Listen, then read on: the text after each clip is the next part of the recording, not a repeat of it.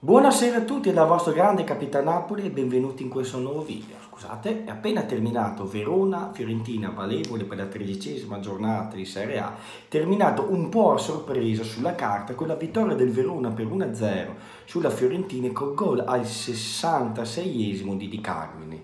In virtù di questa vittoria il Verona addirittura sale da 15 a 18 punti, mentre la Fiorentina rimane a 16 punti. In in un primo tempo tra le due squadre a tinte giallo-blu, la squadra di Juve ha cercato maggiormente la via del gol in questa prima frazione, costringendo l'estremo difensore Dragowski agli straordinari in più di un'occasione. Viola, dopo aver perso nei primi minuti di gioco per l'infortunio il proprio capitano e leader difensivo Pezzella, hanno faticato a proporsi in avanti affidandosi solamente alle accelerazioni dei francesi Ribéry per impensierire la retrograda scagliata. Nel secondo tempo al 66esimo arriva il gol che sblocca la partita di Di Carmine. Amrabat serve sulla fascia destra Faraoni che la mette in mezzo per Di Carmine che dopo il vere di Verre al limite dell'area di rigore caccia di prima intenzione trovando l'angolino basso dalla sinistra di Dragoschi.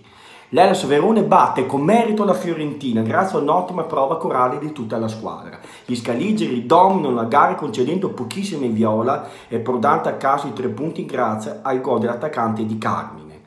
Io voglio dire, veramente pessima prova della Fiorentina, adesso dovrebbe essere sempre più in discussione l'allenatore Vincenzo Montella che secondo me non è assolutamente l'allenatore ideale per la Fiorentina.